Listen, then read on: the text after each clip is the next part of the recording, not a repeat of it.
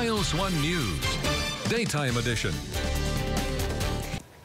Experts are discussing ways technology can help in emergencies like active shooter situations at a security conference. FiOS 1's Logan Crawford is at the Brentwood Public Library with the details on the one-button lockdown. With the push of a button on your smartphone, computer, or wall mounted device, the one button lockdown will lock the doors of a building and call police to the scene of an emergency.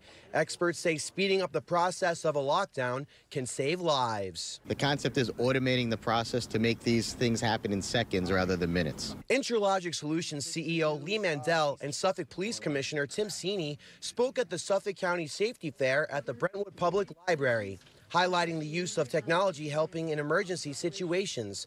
The keynote speaker, Commissioner Sini, talked about issues affecting safety in the area, including gun violence. The police will be partnering with private vendors like Intralogic Solutions, utilizing the latest technology to increase safety at public places like a library. 2017 is a year of technology for the Suffolk County Police Department, and we're making uh, incredible investments in a variety of different different types of technologies. And it's important that we stay on the, the cutting the cutting edge, on the forefront. Security expert and CEO of Intralogic Solutions, Lee Mandel, spoke about the importance of training staff to look for threats to increase safety.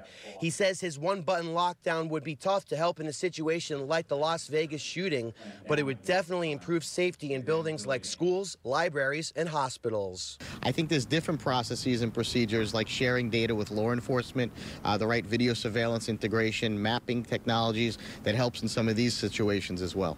Officials say the one button lockdown is already in 80% of school districts on Long Island, and they're working to bring it to more places like public libraries. Reporting in Brentwood, I'm Logan Crawford, FiOS 1 News.